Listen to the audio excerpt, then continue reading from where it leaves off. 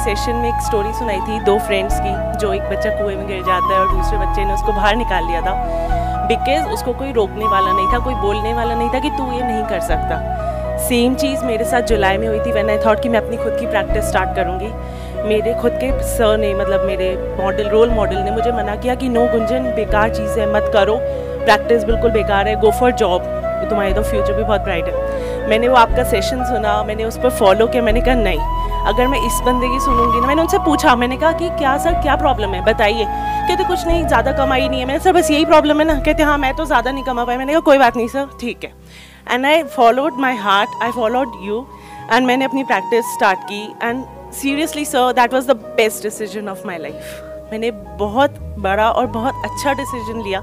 मुझे अपना dream true करना था कि मुझे अपना ऑफ़िस खोलना है. And I did you want to be your own boss yes and I did that and अगर मैंने उनकी सुन ली होती ना तो शायद मैं पता नहीं कहाँ होती और क्या कर रही होती but I love my life right now तो काम अभी ठीक चल रहा है आपका? मतलब start I can not tell you कि कितना अच्छा चल रहा है. बता दो यार. मेरी एक्सपेक्टेशन से बहुत अच्छा चल रहा है. देखो लाइफ में क्या है कि चाहे आप सही करो कुछ या गलत करो वो इतना इंपॉर्टेंट नहीं है. क्योंकि सही और गलत की कोई डेफिनेशन नहीं है।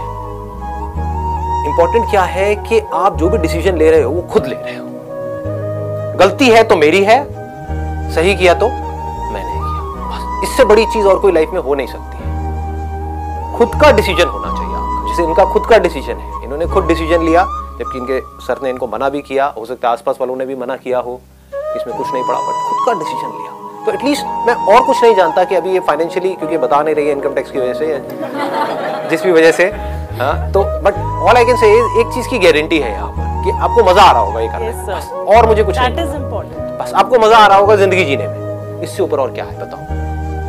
आप एक बहुत बड़ा आप पैसा भी कमा लेते हो किसी नौकरी से लेकिन आपको वहाँ पर मज़ा ही नहीं आता है। चाहे नौकरी हो चाहे बिज़नेस हो कुछ भी हो। चाहे अपने फादर के एक बहुत बड़े बिज़नेस में बैठे हुए होता है ना कि बॉर्न विद सिल्वर स्पून कि आपके पिताजी हैं, उनका बहुत बड़ा बिज़नेस था, उसमें जा करके आप गद्दी पर बैठे हुए। सुनने को क्या मिलता है सुबह से रात तक? बेटा, हमने देखो क्या क्या किया है। तुमने क्या किया है? तुमको तो सब कुछ पका पकाया मिल गया है। ये डायलॉग सुने हैं? हम्म आ करके बैठे हुए हो बस। तुम्हारे बस का कुछ नहीं है। और जरा सी उसने कुछ गलती करी तो उसको उधेड़ दिया सबके सामने। अरे तो बेवकूफ़ है। उसके पास में लाखों करोड़ रुपए हैं, लेकिन अपनी नज़र में और दुनिया की नज़र में वो क्या है? बेवकूफ़ है।